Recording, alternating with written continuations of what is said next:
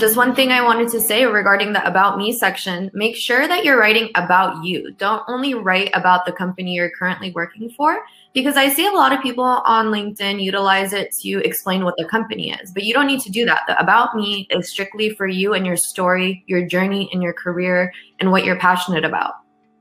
When you go down to experiences, make sure to put the main points over there.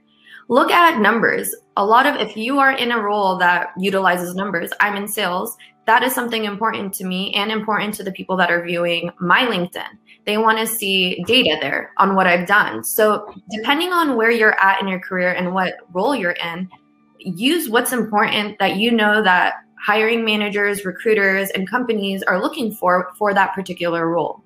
Uh, definitely very important. And another thing I would like to add for this is make sure you use your keywords and titles.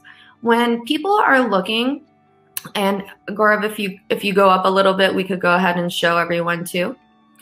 Right here under Henry Childs, it says Chairman and CEO of, of the Business Consortium Fund, uh, founder of the Minority Wealth Commission.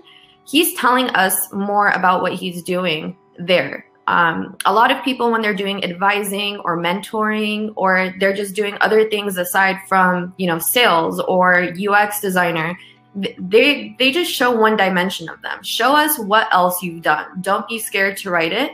Don't be shy. It's important to put it there.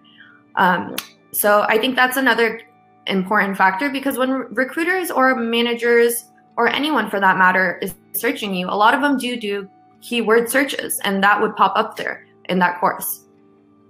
So I think that's also super important.